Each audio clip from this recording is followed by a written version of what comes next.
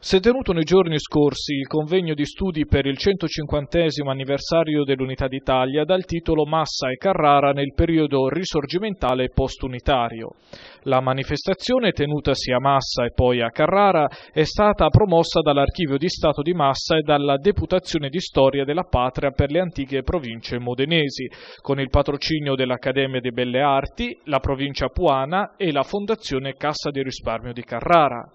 Tra i relatori la professoressa Olga Raffo, direttore dell'Archivio di Stato di Massa. Lo scopo di questo convegno è quello di poter celebrare anche noi, sia come Archivio di Stato di Massa che come Deputazione di Storia Patria per le antiche province modenesi, sezione di Massa e Carrara,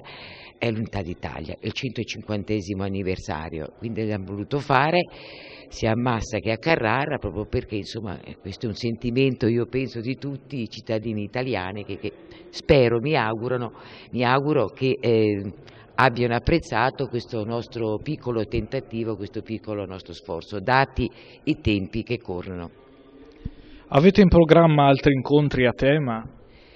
A tema non lo so, ma eh, come lei sa, io come rappresentante dell'Archivio di Stato e il dottor Pelù come Presidente della Deputazione, noi eh, praticamente possiamo affrontare tematiche che vanno dall'Alto Medioevo fino al 1899, quindi non posso dirle a priori cosa farò io come direttore dell'Archivio di Stato e che cosa deciderà poi il Presidente,